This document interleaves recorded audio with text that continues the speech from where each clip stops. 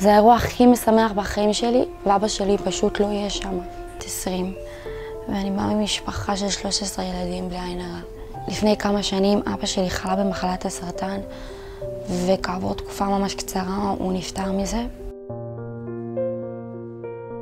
מאז הוא לא איתנו, אנחנו לבד.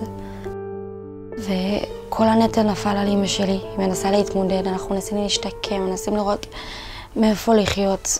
ברוך השם, אני התארסתי עם בחור ירי שמיים, ואנחנו לא יודעים איך לגשת לחתונה, מאיפה להתחיל. המצב הכלכלי שלנו ממש ממש קשה. אני פונה אליכם ומבקשת את העזרה שלכם. תעזרו לי להגיע לחתונה בכבוד, כמו כל כלה רגילה. בבקשה תעזרו לי, כי אין לי מישהו אחר שיעזור לי.